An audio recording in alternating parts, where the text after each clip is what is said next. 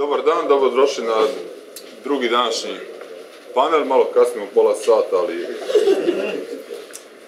tako je vada neminovno zbog e, lifta i sličnih stvari. Današnji izlagači su Anej Korsika iz Ljubljane, student na postdiplomskom studiju na Zrcu. Mm, ne, ne. nisam na Zrcu. E, na Filozofskom fakultetu. I Domagoj Mikaljević iz Zagreba, koji upravo završava studij ekonomije na temu koju, na temu koju ću danas govoriti. Ane, Ana je naslov kako nas Bauk 1968. dalje proganja nije baš naj, neće biti ovaj naslov onoga što ćemo će danas pričati, malo je izmijenio.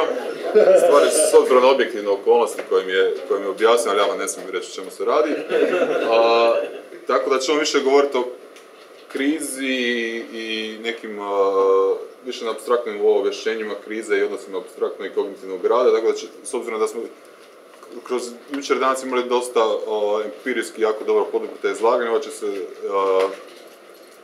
izlaganje odvijeti na nešto više razini abstrakcije, dok će Domagoj Mihaljević pričati o nešto po naslovu njegove izlaganje Sablasna tišina tvorničkih srena, političke i ekonomske implikacije procesa deindustrializacije, znači priča o tome što se događalo u Jugoslaviji, to je Hrvatskoj zadnjih zadnjih četrdesetak uh, godina i to je to, znači imamo predviđene do četiri, ali do, do tri, po produžit ćemo do kvara do četiri, tako da ostavimo vremena uh, i za diskusiju, plus bi još iskoristio priliku da drugovima drugoracima iz Beograda čestitam dan oslobođenja, ako ste zaboravili slučajno.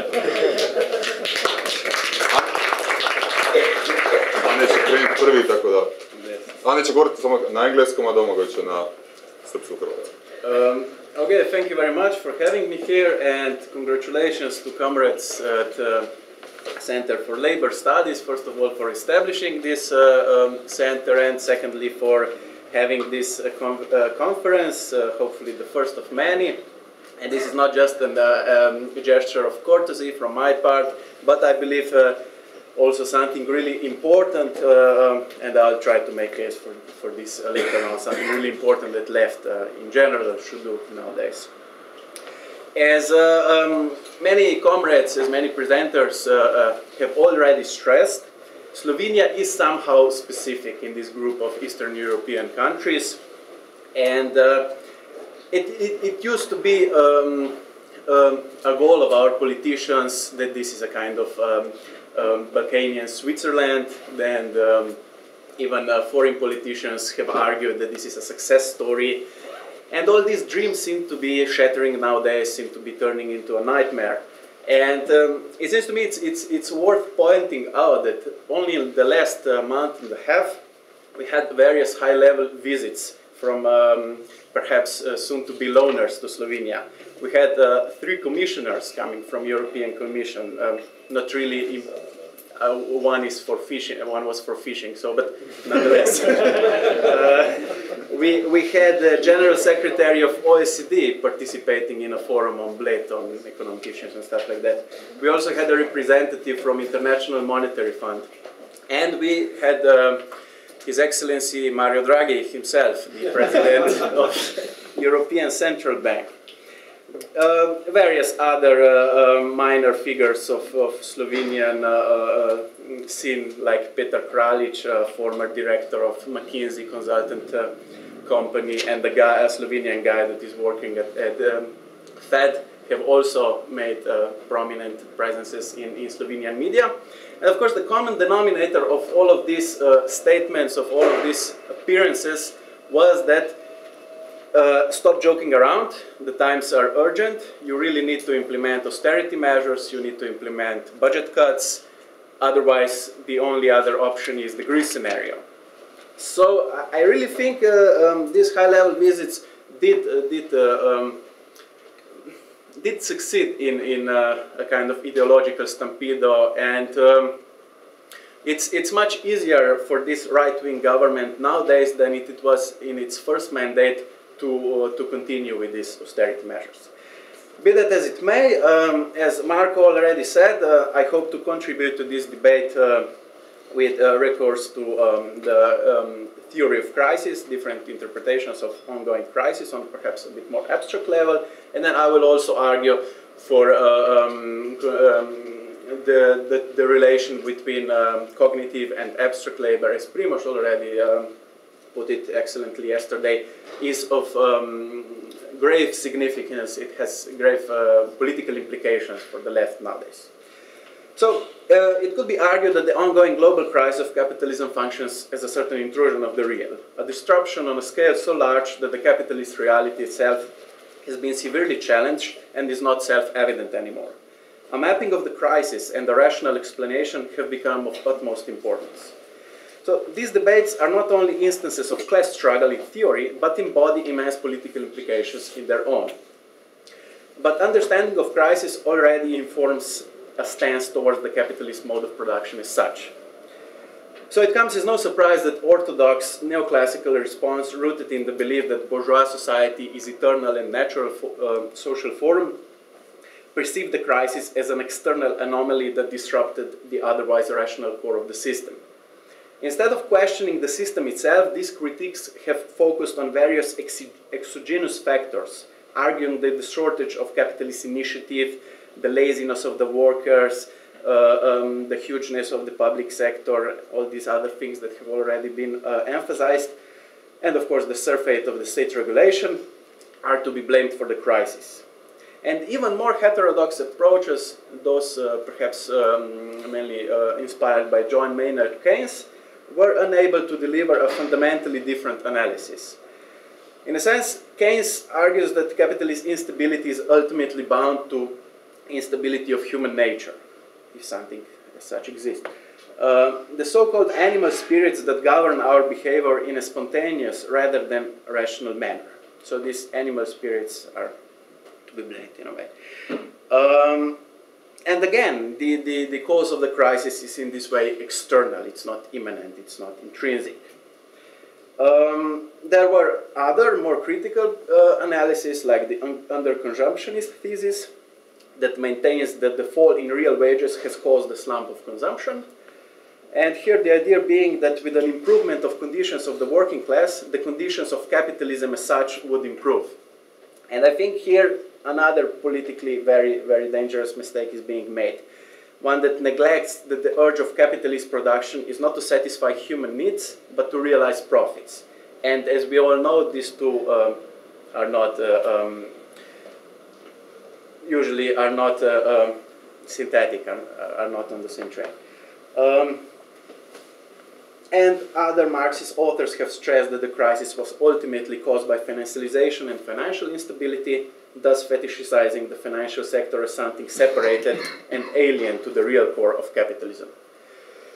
Um, Marx's own analysis, I believe, is uh, immanent and abstract. In his critique of the capitalist mode of production, he extrapolates at the most abstract level the economic laws that govern capitalism regardless of its specific historical formation. Recently we had a um, translation of uh, Michel Husson's uh, I know what's the correct uh, English title. Um, in Slovenia, we, we made uh, Pure Capitalism. Um, an excellent book where Michel Husson himself also argues for, uh, for a theory of capitalism without any predicate, for a theory of capitalism, for a theory of capital that is not burdened by any specific historical formation, uh, um, by the slums or, or, uh, uh, or, or conjunctures, by capital per se. And also, um, here I would also um, make recourse to Moishe Postone, who I think uh, he never really developed this in any uh, substantial way, but he, uh, he, at various points also argued that this immanent historical logic of capital produces the historical dynamic in capitalism. It is not that um, uh, uh, human beings, society is such is, is in charge of this historical dynamic, but is in a way a victim of, of these ups and downs that uh, the inner dynamic, the inner core of capital, its inner contradictions are expressing. And I am one of those guys that subscribe to the law of the tendential fall in the rate of profit, which is uh, to some extent a controversial positions, although a very obscure debate nonetheless. Um, um, which was anyway by Marx himself considered uh, this law of the tendential fall in the rate of profit. Uh, he himself considered this as the most important law. In Grundrisse, uh, he, he states, I quote, this is in every respect the most important law of modern political economy and the most essential for understanding the most difficult relations. It is the most important law from the historical standpoint. It is a law which, despite its simplicity, has never before been grasped and even less consciously articulated.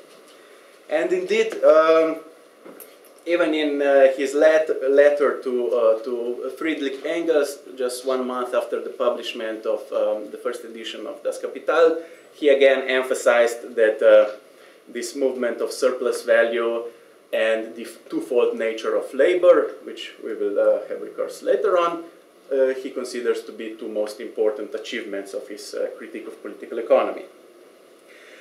Um, so, this, this law basically is in a way already embodied in the most simple commodity form. The, the contradiction between use value and exchange value is already something that, uh, that is uh, most imminent to this law.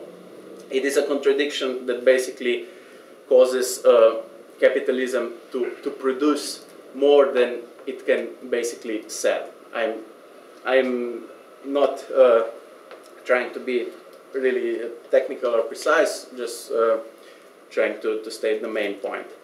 Um, so the, the organic composition of, of capital that changes with the technical progress, with, uh, um, each uh, capitalist must subjugate himself to because of the law of competition.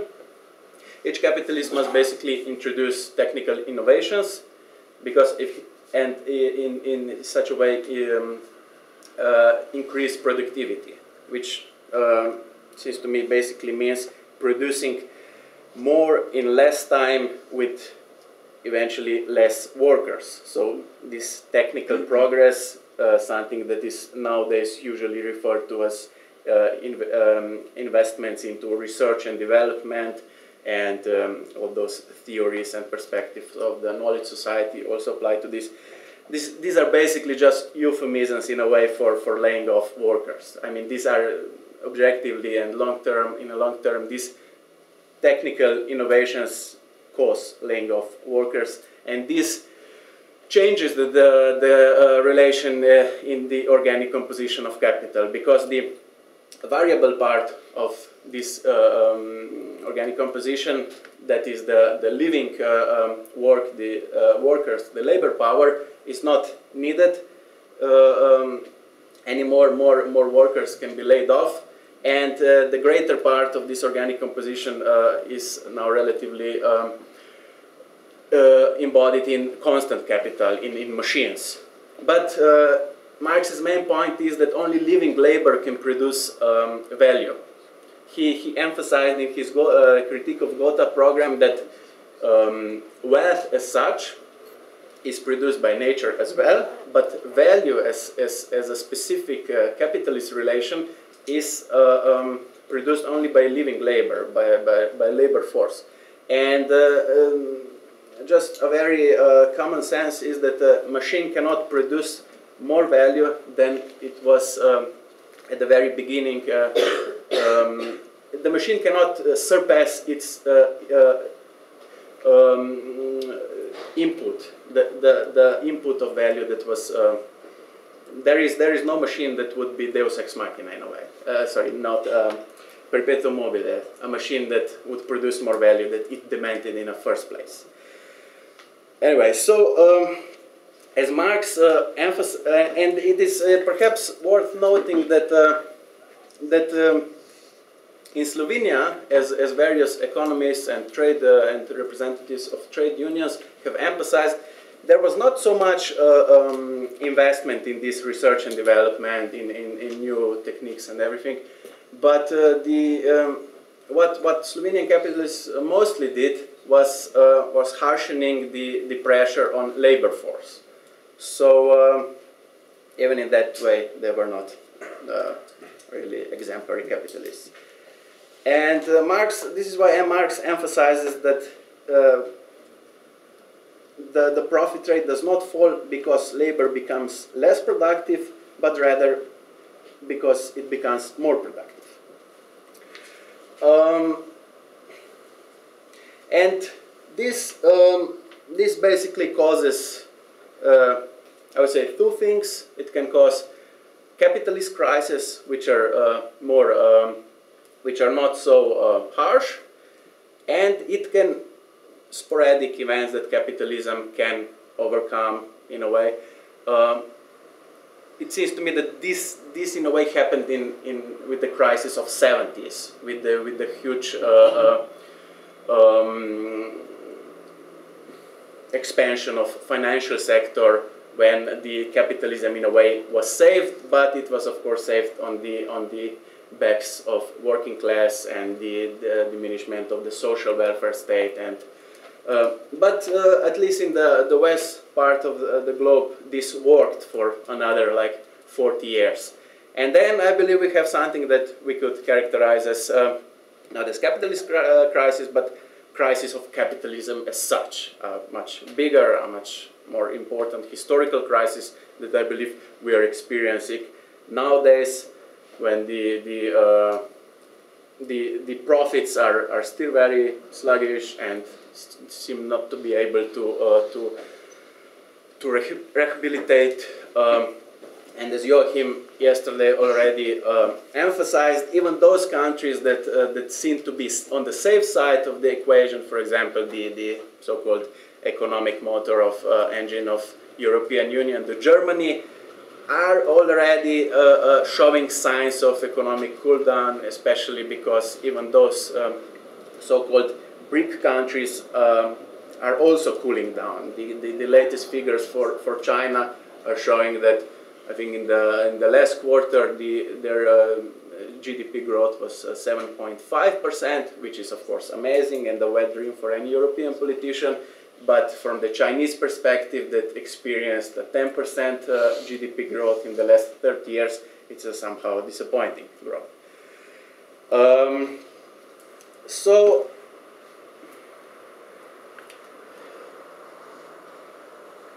basically, when, when capitalism as such uh, finds itself in this crisis, a bit pompously, but I think still quite correctly, we could uh, uh, argue it's got two basic options, either barbarism or socialism. So we, especially in the European Union that received, and this is the most cynical thing, uh, received the Nobel Peace Prize, we have opted for, for barbarism and we call it. Kissinger received it as, as well so far, and it's the EU is a good company. okay.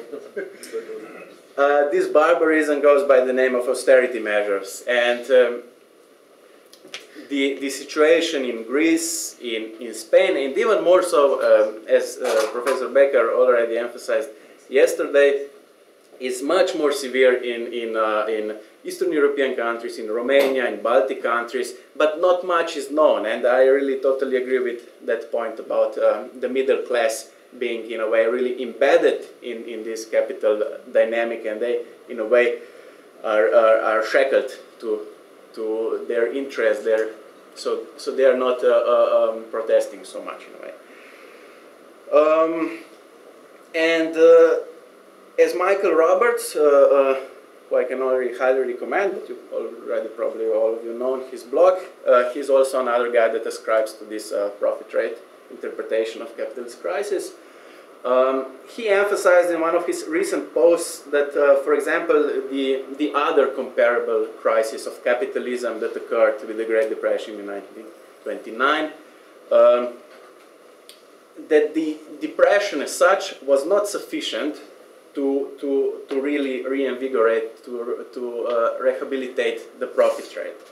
He, uh, his argument, and he showed this uh, empirically, was that um, Second World War as such was, uh, was needed as well, and only later on the global um, economy, uh, world market entered uh, into a new profit cycle, something that Hobsbawm refers to um, as the golden age of capitalism, something that lasted till the end, uh, from the end of Second World War till the um, the crisis and the uh, its and the political response of uh, neoliberalism.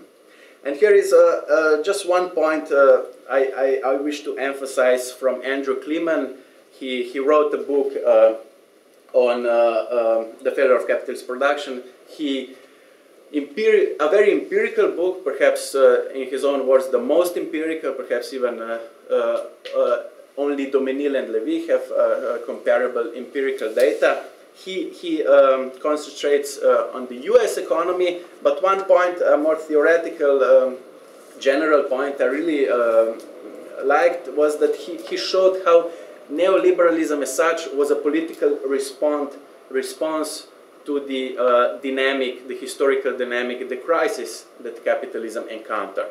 So, at least for me, it seems to me that this is uh, a very important point because usually in the left circles, um, sometimes the neoliberalism, perhaps even predominantly, neoliberalism is characterized as a, a political movement, as, as a political project that uh, it surely was. But uh, um, uh, according to his empirical data, uh, he quite pers persuasively shows that as such it was already a response. It was not a cause but a response. So, um, and this is perhaps uh, uh, where, uh, um, where this uh, Postone's uh, point of, of us being subjugated to this historical dynamic that capital as such, as a production system, um, creates really comes into place. Okay, so um, the second uh, point I wish to emphasize is strongly connected to uh, to the talk Primoz gave yesterday. I totally agree with everything he said. Um, and uh, he's gonna pay me for that. well, he already did. Yeah, the first half. okay, so um, it seems to me that uh, a certain portion of critical theory became really uh, prone to the surface phenomena capital as such uh, uh experience in the last um, four decades, I would say, um, and that is from the uh, offset of neoliberalism. Uh, various authors have argued uh, that uh, um, work as such, labor as a productive activity, nowadays is something radically different from the labor activity of, I don't know, a Victorian worker, someone that Friedrich Engels described in his condition of the um, English working class. And as I said, on the, as a surface phenomena, this, this seems legit in a way it, it okay, we have an English steel worker uh, working 18 hours a day, and then we have, I don't know, IT worker working in Google with his um, dog and mm, eating Skittles all the day. And also 18 hours a day. also 18 hours a day. um, but here I would make two points. One is that uh, empirically, this more classic proletariat still very much exists. It was perhaps only transferred to, to, uh, to uh, countries with lower uh, um, labor costs. And the other thing is that even these more dynamic, more flexible uh, um, jobs don't really, uh, um, don't really dismiss the law of value as such. Because even, even if you're not working beside the machine, you are still selling your labor power. And um, here it seems to me that uh, I will, uh, the, the, the notion of the cognitive labor is not only conceptually misleading, it seems to me that is also could be very politically problematic, especially with the political implications of, of, uh, of uh, on a new labor, uh, a new working, a new qualitatively new type of working class that is radically different for the old proletariat, the new precariat, um, and um, then we can have uh, uh, these uh, political uh, strategies of, of new social rights that would correspond to this new working class, which is qualitatively different. I would, of course, argue that uh, um, it is this still corresponds to the uh, uh, to the Marx schema of abstract and concrete labor. Let me quote Marx on this. Um, on the one hand, all labor is an expenditure of human labor power in the physiological sense. And it is in this quality of being equal or abstract human labor that it forms the value of commodities. On the other hand, all labor is an expenditure of human labor power in a particular forum and with, with a definite aim. And it is in this quality of being concrete useful labor that it produces use values. Um, and what becomes immediately obvious that Marx's own schema does not uh, differentiate with, between manual and intellectual labor as two generically different type of labor, but rather as two concrete expressions of the same abstract labor. Um, so according to Marx, if we disregard specific qualities of any two different types of productive labor, what remains is the expenditure of human labor in general, that is the expenditure of abstract labor. Uh, so whether we are using our brains, muscles, nerves, or hands while being engaged in this specific type of productive labor is for Marx himself irrelevant. He illustrates this with an example how banker and general play a very important role in civil society while a man himself is worth nothing. The same goes for abstract human labor. In, its most simple form, it is not worth much. However, as a multiplication of simple labor, that is as complex labor, it can attain a much higher value. But the fact remains that complex labor, or what we are nowadays commonly referring to as cognitive intellectual labor, is only a multiplication of simple labor. Both are the expressions of the same general labor power, however differentiated these concrete expressions might be. Um,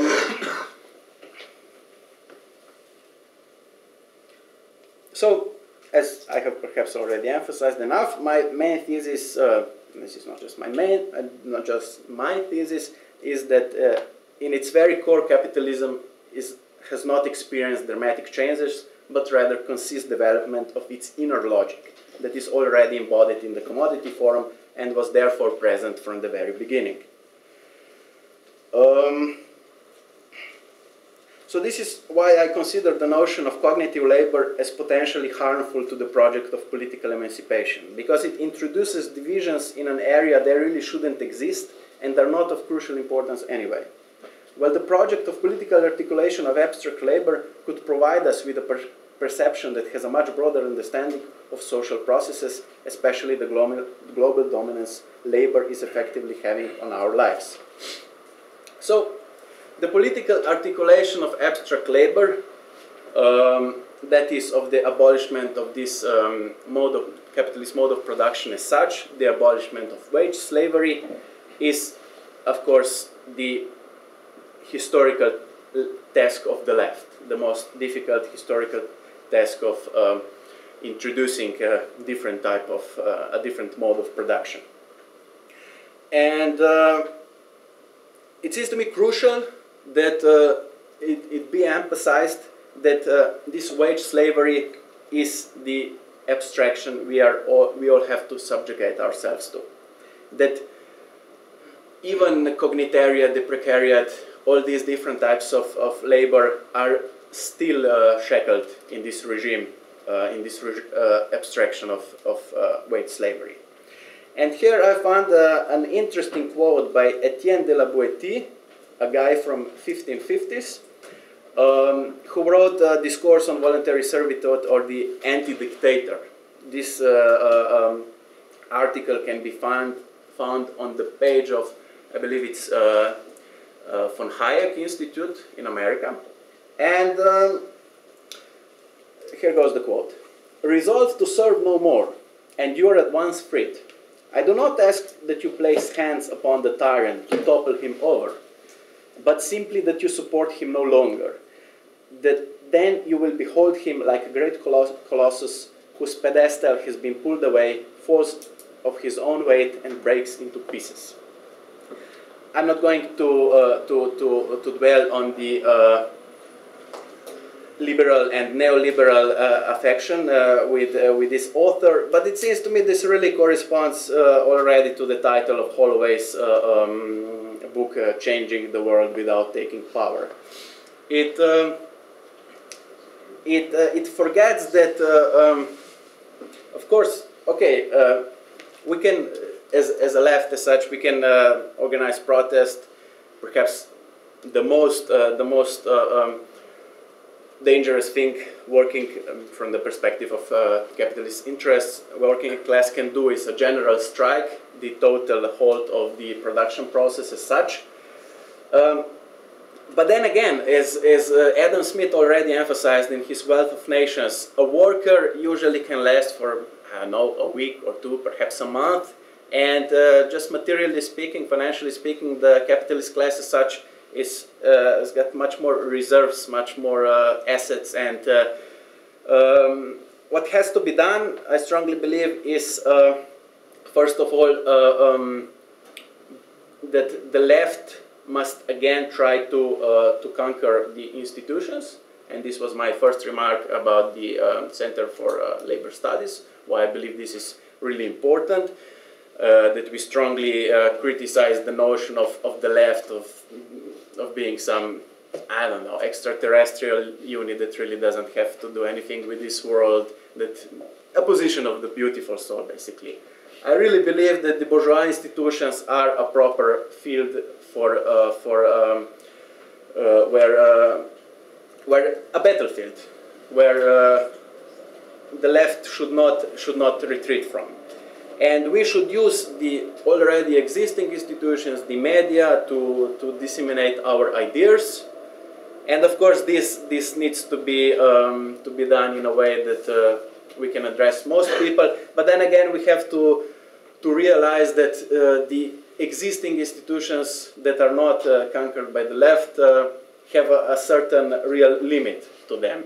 So this is why it's so important that the left as such establishes its own institutions that uh, um, could perhaps uh, um, prolong its life because uh, what I'm, what I'm suggesting is that um, too often, especially in, in the 90s, it seems to me it has been uh, left up to, to the enthusiasm, to the uh, incentiveness of the uh, specific group of people. And already the generation, the genera when generations changed, there could be drastic uh, uh, um, implications for the left as such. So this is why I also believe institutions are of crucial importance so that the left in this way guarantees itself a kind of immortality. Thank you.